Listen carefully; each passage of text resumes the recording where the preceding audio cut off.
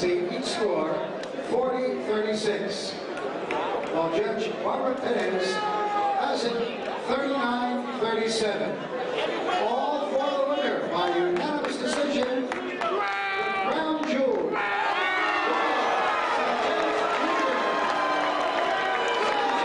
You know it's AB. Always balling. Always boarding. A lot of bills. You know what's going on, man. You know, uh, shout out to Crown Jewels Boxing, man. You know, uh, my people. You know, uh, they, they get it in over there. Straight up. Lamar Peterson giving a shout out to CrownJewelBoxing.com.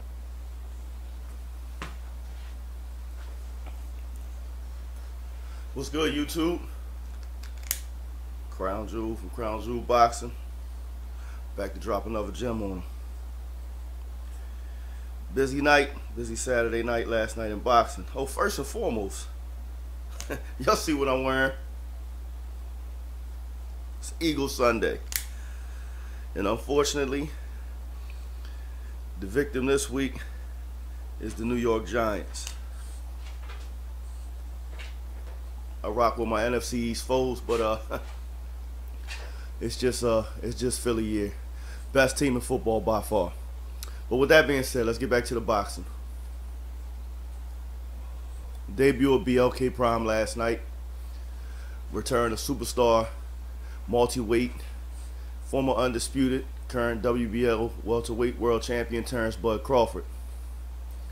Not much to talk about there. He scored a one punch, six round knockout over David Avanesyan. I don't know who was surprised. I don't think that does anything for star power, his career. Like I said, he did what was expected of him.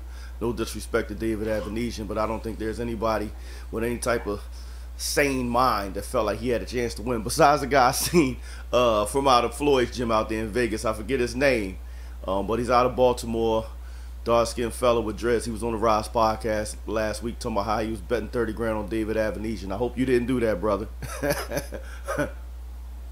uh, also, Jared Anderson returned to action, scored another knockout, 13 0, 13 knockouts. Um, I think we get it. You know, he can beat the level of opposition easily that he's facing right now, but I think it's time to step him up a little bit. Like he's he's going to beat those mid level guys. Um, he seems to be the toast of the heavyweight division as far as the young American heavyweights go. And you know, I mean, I, am I'm uh, anxious to see them step him up in competition a little bit more and see what he has. See what happens when he gets hit back. Um, also, uh, Keyshawn Davis picked up a win last night.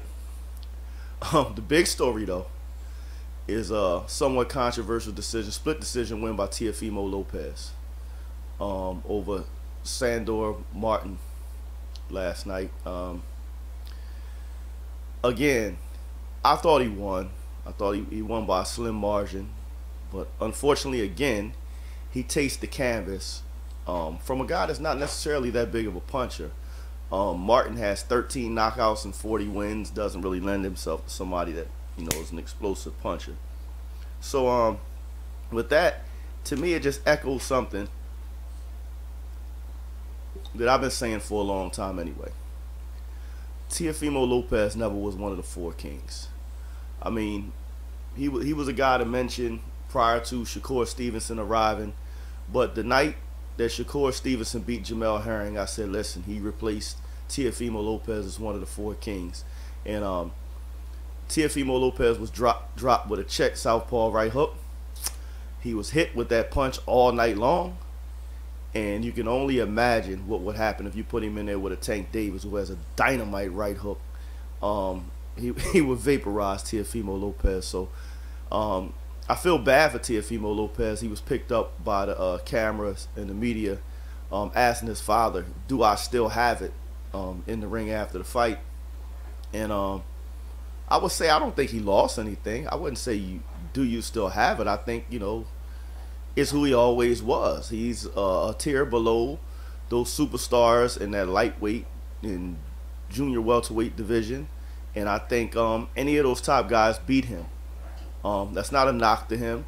I think his huge win against Vasily Lomachenko was more of a style matchup where his style was was was uh it was a favorable style matchup for him. His style was something, you know, his attributes are something that's difficult for Vasily Lomachenko to deal with. I still think Lomachenko's the better boxer than him, but stylistically, he just uh, presents a problem for Vasily Lomachenko with his size, athleticism, and strength.